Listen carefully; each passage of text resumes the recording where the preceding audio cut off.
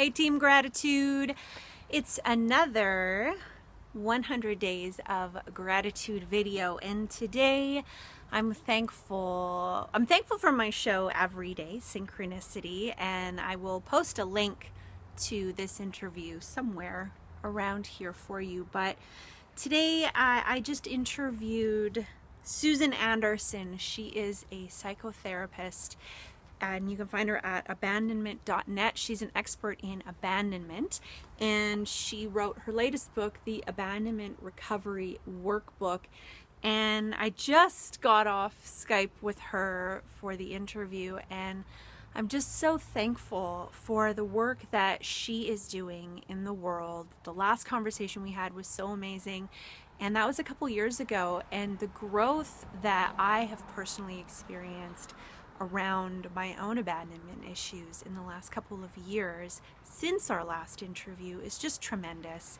And part of that has been down to um, therapy and down to Dr. Stan Tatkin's work with the psychobiological approach to couples therapy, as well as the most recent relationship that I had with Chris.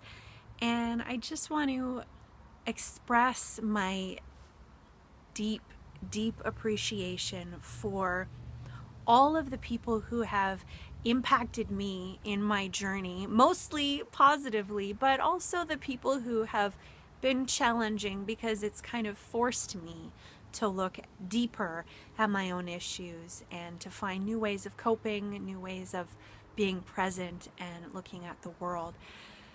So, yeah, I'm feeling a lot of gratitude for that today. It's windy and yeah, so that's my gratitude for the day. I'm wondering what you are most thankful for. Post your comments. Lots and lots of love to Team Gratitude. This is like the peace sign, right? Is there a gratitude sign? I don't know. Anyway, have a wonderful day. Lots of love. Namaste.